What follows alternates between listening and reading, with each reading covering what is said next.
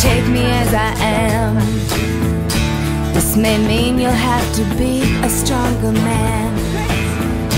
Rest assured that when I start to make you nervous and I'm going to extremes, tomorrow I will change